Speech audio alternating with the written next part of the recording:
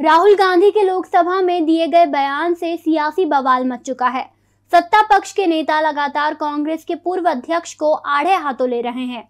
इस बीच मुख्यमंत्री डॉक्टर मोहन यादव ने उनके बयान पर सख्त नाराज़गी ज़ाहिर की है। राहुल गांधी की हिंदुत्व वाली टिप्पणी को लेकर सीएम डॉक्टर मोहन यादव ने कहा कि राहुल गांधी के बयान की मैं घोर भर्त्सना करता हूँ। उनके माध्यम से पूरा हिंदू समाज लज्जित हुआ है। दुनिया के सबसे बड़े लोकतंत्र के मंदिर के अंदर नेता प्रतिपक्ष ने हिंदू समाज को लज्जित करने का बयान दिया है। हिंदुओं को हिंसक बताना, ये उनकी मानसिकता का परिचायक है। राहुल गांधी ने जो टिप्पणी की है, उस पर कांग्रेस के कई नेताओं ने भी उनके विचारों से असहमति व्यक्त की है। उसमें हमारे मध्य प्रदेश के वरिष्ठ कांग्रेस नेता लक्ष्मण सिंह भी हैं। मैं मानकर चलता हूँ कि कांग्रेस के राष्ट्रीय अध्यक्ष मल्लिकार्जुन खड़गे को इसकी जानकारी लेकर राहुल गांधी से इस्तीफा लेना चाहिए।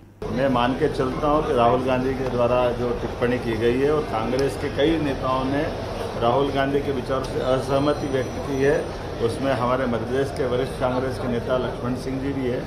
मैं मान के चलता हूँ कि खड़गे जी को इसकी जानकारी लेकर के राहुल गांधी जी से इस्तीफा की बात करना चाहिए